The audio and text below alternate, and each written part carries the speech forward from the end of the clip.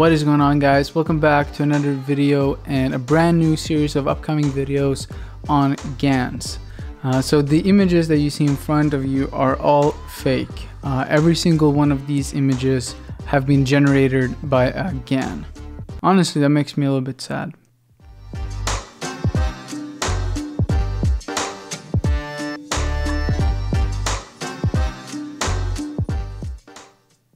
GANs is the most exciting idea in the last 10 years in machine learning by Yann LeCun. So in this video, we want to see why GANs are awesome, first of all, and then secondly, we want to understand how GANs work and uh, get an under, a general understanding uh, that we can then build on in future videos uh, when we actually implement these things. And I've already shown you this example where they seamlessly transform between uh, different people. And this is incredibly impressive because it means that the model has learned some inherent structure uh, of the data.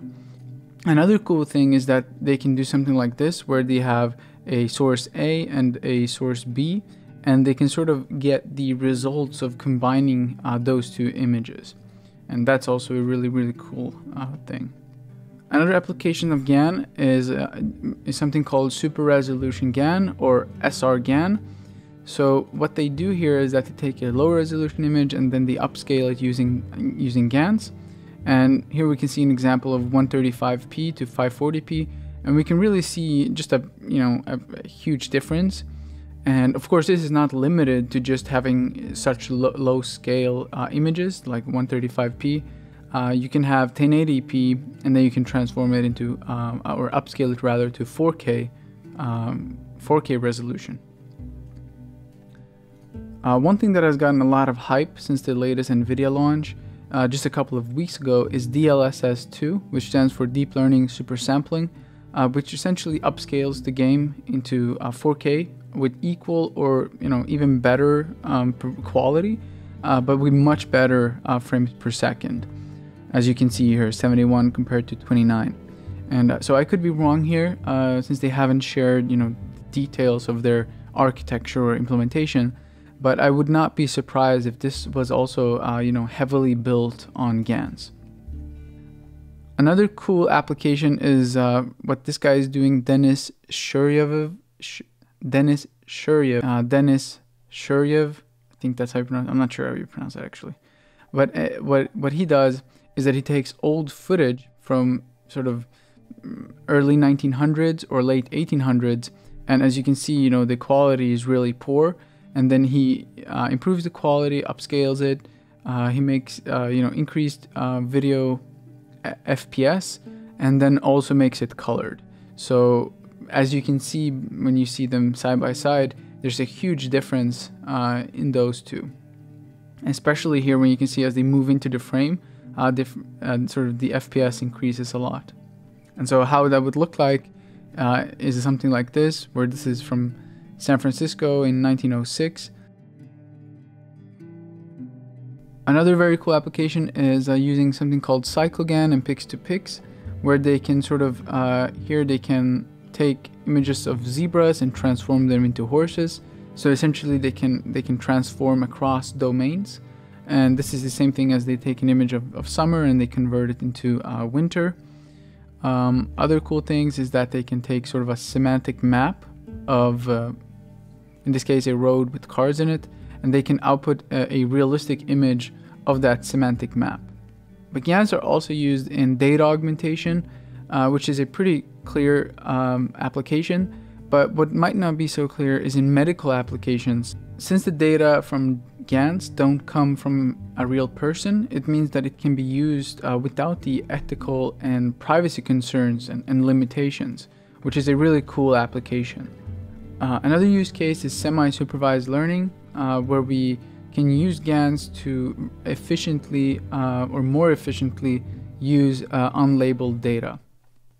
And what I've shown you now is really just a small list of examples. Uh, there are many, many more uh, and new applications being discovered every day because it's such an exciting and, and new field in many ways. But now I want to move on to look at the idea uh, behind GANs. So first of all, it might be a good place to start. What what are GANs? GANs are a class of machine learning techniques that consist of two networks uh, playing an adversarial game against each other. So one of these networks is called the generator, and we can view the generator as a sort of counterfeeder. Then the other network is the discriminator, uh, and you can view this network as a sort of detective. To give an example of the game that they can play, let's say that the generator wants to print uh, fake money and the discriminator wants to be able to distinguish between fake and real money. And so in the training process of GANs, the generator is trying to print a, a let's say a hundred dollar bill, but all he come up comes up with in the beginning is something that looks like at the bottom left of the of the slide, uh, just some random noise uh, because it's very bad initially. And so the detective is going to look at these two comparisons of a real hundred dollar bill, and then it's going to look at the random noise. And so in this case, um, you know, it's going to say that the one coming from the generator is fake. And so uh, the generator was not able to fool the discriminator in this case, or the detective, or uh, the detective. But as training goes on, the generator becomes better and better, and it, now he might produce something that looks like this, where we have close to a hundred real hundred dollar bill, but as we can see, there are some um, Chinese signs on it and other incorrect things. So the discriminator, you know, might look at those two and say again that the top one is is fake, the one coming from the generator. So again, the generator was not able to fool uh, the discriminator. As training goes on even further, the generator might output something that looks like this. So the, the discriminator uh, might go something like this. And then output that the bottom one is fake, which is actually the real a $100 bill. So in this case, the generator was actually able to fool the discriminator. So a question then is why does this uh, work? In the end, uh, the generator will be able to generate dollar bills that are indistinguishable from real ones, and the discriminator is uh, forced to guess, uh, you know, with a probability of 0.5, which of those is real and which is uh, fake.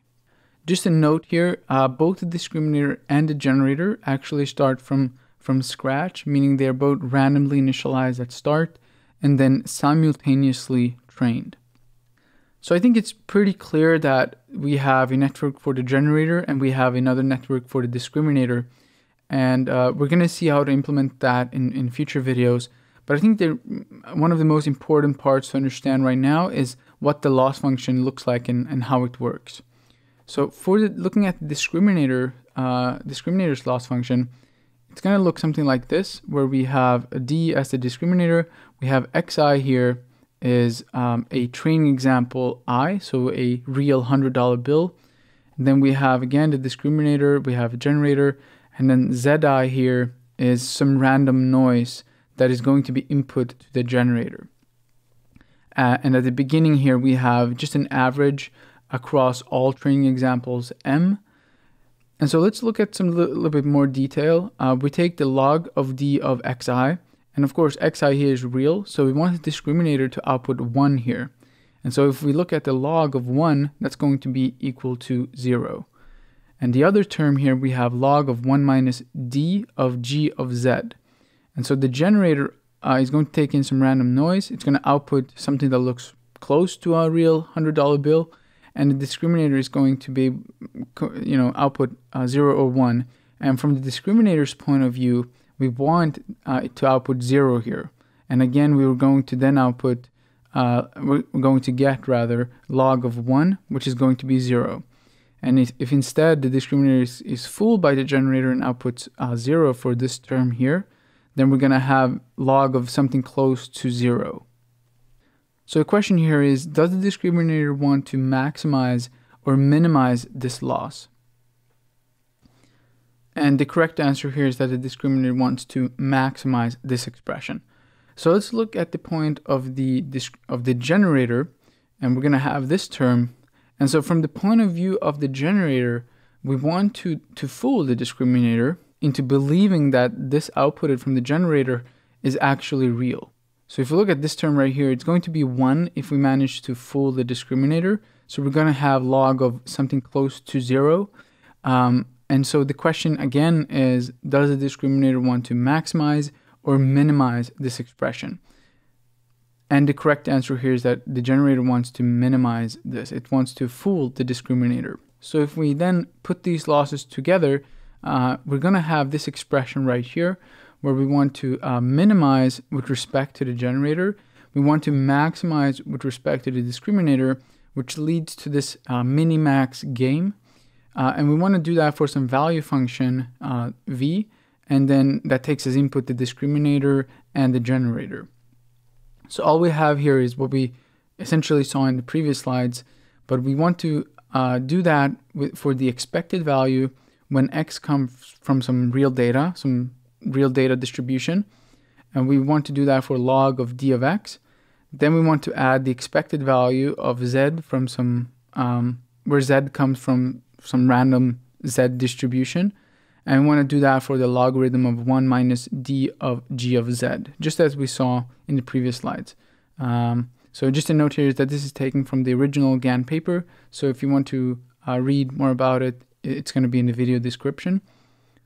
Just uh, one note here is that in practice, the generator is instead trained to maximize uh, this expression right here, because uh, this this up here, from the generator's point of view, uh, has pretty weak gradients, and so if we use this um, this expression instead as the loss function, uh, this new loss function for the generator leads to uh, non-saturating gradients, which makes it a lot easier uh, for training. Alright, so in the next video, uh, we build our first simple GAN, and then we're gonna expand even further um, and build more and more advanced architectures um, in these upcoming videos. I hope to see you in the next video.